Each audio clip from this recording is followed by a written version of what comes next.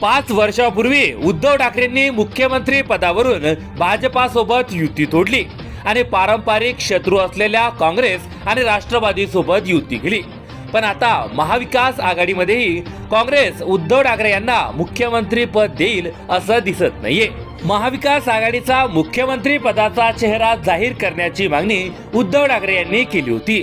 पण ती मागणी नाना पटोले पृथ्वीराज चव्हाण यांच्यासारख्या कित्येक ज्येष्ठ काँग्रेस नेत्यांनी फेटाळून लावली.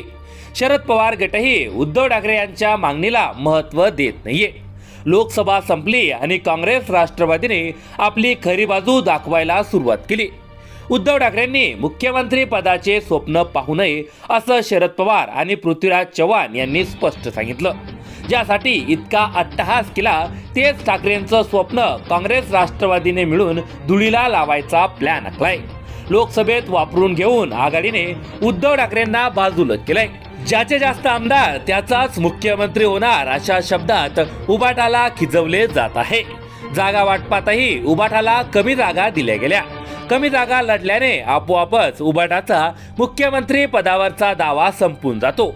ज्या मुख्यमंत्री पदासाठी महाविकास आघाडीसोबत जाण्याचा घाट उद्धव ठाकरेंनी घातला होता त्या मुख्यमंत्री पदावर आता पाणी सोडावे लागत आहे. उलट उद्धव ठाकरे यांना आता कमी जागांवर समाधान मानावं लागत आहे. त्यामुळे जमिनीवर उद्धव ठाकरे यांच्या पक्षातील कार्यकर्ते मोठ्या प्रमाणात नाराज आहे. ही नाराजी आता उद्धव ठाकरे कशी दूर करतात हेच पाहावं लागेल.